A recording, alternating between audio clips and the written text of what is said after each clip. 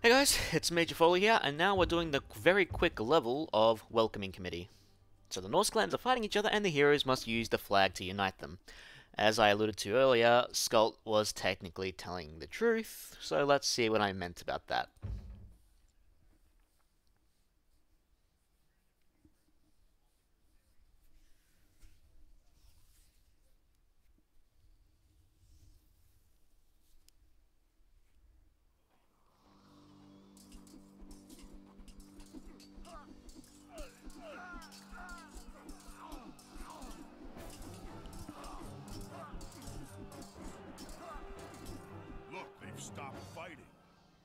The banner works.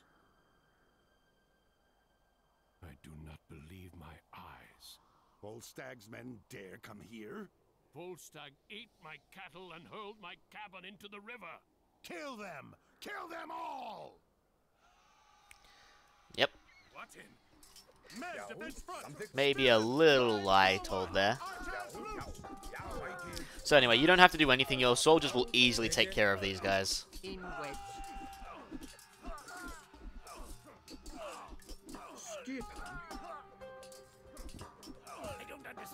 Understand why the Norsemen attacked us. They seem to not like my flag. Perhaps we can use this to our advantage. These men seem to be drawn to Skulk's flag. Maybe if we use it to draw out and defeat their clan leaders, we could stop them from So just build six towers. We could lure the Norsemen out of their camps and ambush them in the open where they're more vulnerable. You don't really need to use control groups here either, so don't worry too much about it.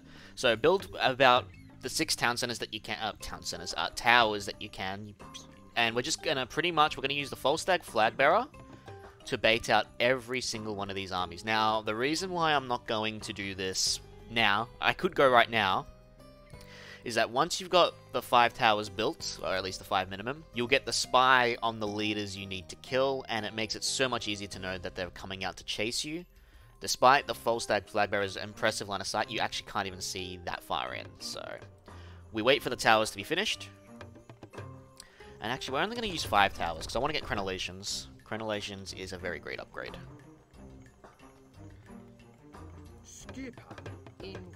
And pretty much your only goal is to ignore every soldier that you can and just kill the leaders. Kill the leaders and you get a massive army on your side.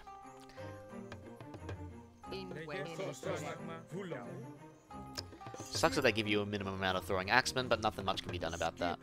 Anyway, Skult, again, can't fight. Put him in a tower.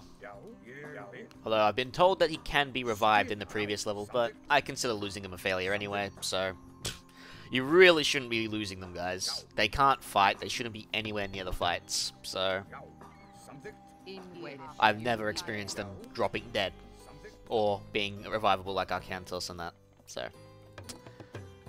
Anyway, with that tower nearly done, we're going to come outside Green's base first. You can do this in any order you like, by the way. So you can choose this one, this one, or this one. Take your pick. I usually like to start with Green first. Alright, so now Spy Shield activate. There we go. So, despite them having a name, when you kill them, uh, the soldiers will say a different name. So you have to go to their gate and stay still for a bit. And hopefully you'll attract their attention, so wait. Yep, there you go. And then once they start chasing the flag bearer, just put him in a tower. In wedge. Put him in the furthest tower you got, I guess, would be the a great way to do it. In wedge. He moves fast enough, except for raiding cavalry, so wait for the hero. So the hero, unfortunately, staying back with most of his units. So what we're going to do is we're just going to run around until he gets closer, and then we're going to focus him down. You e air. Tai you. Tai you. So we're just going to go around. Ia at- And just ha and when he gets in range of the towers, have the towers just focus him down too. In wedge. Ia. This is why crenellations is sort of important. So it doesn't matter if you lose soldiers here, because you're going to get a massive army anyway, so don't fret about losing your soldiers.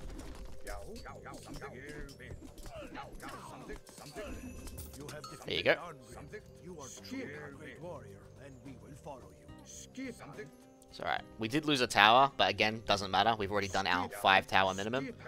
And this uh, now you can choose to destroy all the armies, or like one army is usually enough to help destroy everything. But um, I would probably just get the two armies and then destroy the last one by yourself. So again, same plan, Folstag flag bearer. Unfortunately, I didn't get the bait here, so we're just gonna wait there. There we go. Now we gotta try to get him out before he dies. In a jerek. Luckily for us, this one's mostly infantry, so in a jerek. they're not cavalry based. And the hero is coming out a lot faster this time, which is good for us. So now we just focus him down, like we did the other one.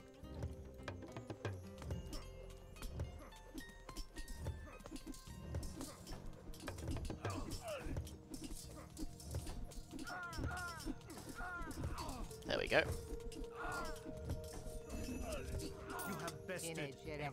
So yeah, now we got this entire army, and you know what? Instead of baiting them out with the Folstag flag bearer, we're just gonna cast bronze and go to town on this. Look at that very shiny army. Too bad we don't get the Fenrir Wolves, but that's just the breaks. So yeah, then just target the um, hero and you win. Nice and simple, right?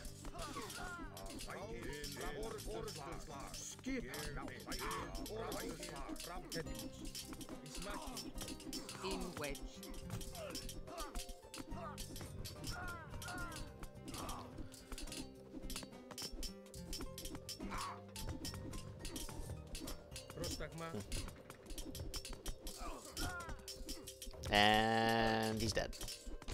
Yeah, the probably the shortest level in the campaign, not counting Isis hear, my plea with the cheese strat. fallen in battle. Our In axes wedge. are yours to command. Tilbury. Probably is shorter if you just do the flags without waiting for the spy as well. But yeah, that's it. Nice and simple, eh? Alright, so again, the Gold Edition strat's going to be exactly the same. So join me for that one. And then Union, where we got to re reunite, uh, unite the final Norse clans left, essentially. I'll see you guys then.